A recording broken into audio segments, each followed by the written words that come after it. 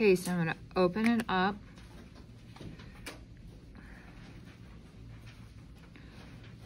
Loads. I'm gonna click the question.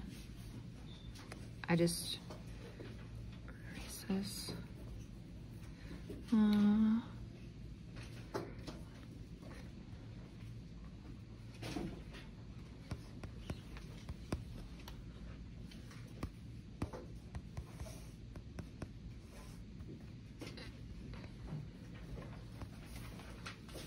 Okay, so I did the work.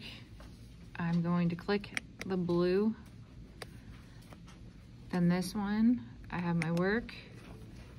Then I need to click the blue check mark to submit it. And then I'm gonna go to this one. I'm just gonna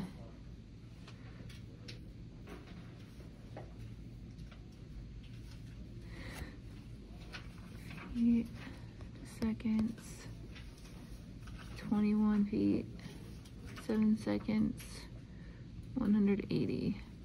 So I'm gonna figure out my conversion factor. I would get all my work done and I'm gonna click the blue check mark that's up there. Same with this one. I'm gonna complete my work here. So do your do the work, blue check mark,